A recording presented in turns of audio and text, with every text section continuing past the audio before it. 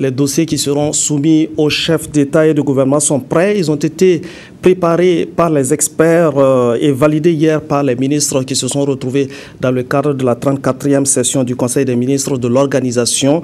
Devant cette instance, le Premier ministre Luc Adolphe Tchao a décliné les défis à relever qui portent essentiellement sur l'utilisation et la maîtrise des technologies de l'information et de la communication pour un développement économique euh, des 17 États membres de l'OADA. Le reportage de Peggy Wedraogo. Les 17 États membres de l'Organisation pour l'harmonisation en Afrique du droit des affaires sont effectivement représentés à cette présente session. 34e du genre, elle réunit les ministres en charge du droit et des finances des pays membres de l'OADA. Cette session est essentiellement consacrée à la préparation du sommet des chefs d'État.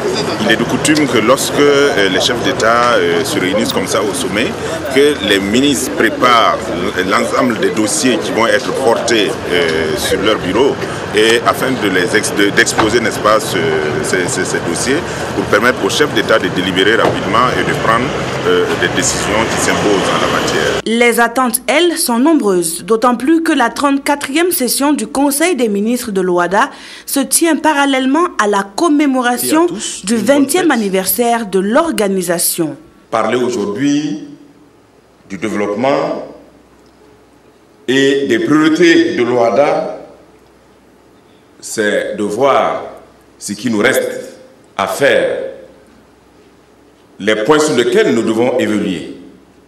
Et je pense particulièrement, mesdames et messieurs les ministres, à l'informatisation des fichiers nationaux et du fichier régional du registre de commerce et du, des crédits mobiliers des États partis.